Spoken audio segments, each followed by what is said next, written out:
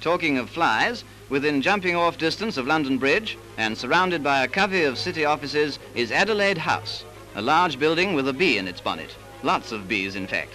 On the roof are flowers, all a blueing and a growing. And what more appropriate blooms on a roof than high hydrangeas? Stranger than the blooming flowers, though, are the buzzing bees. There are about 10,000 of them hived on the roof, and they produce about 70 pounds of honey a season. 10,000 bees amid the smoke and turmoil of the metropolis. You'd think it wouldn't be all honey, wouldn't you? But it is.